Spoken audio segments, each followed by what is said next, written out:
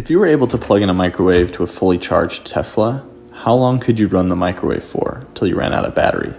Well, given the assumptions that a Tesla Model 3 battery has 75 kilowatt hours and a microwave would use 1.5 kilowatt hours per hour, you could expect around 50 hours of using a microwave from a Tesla battery on one single charge.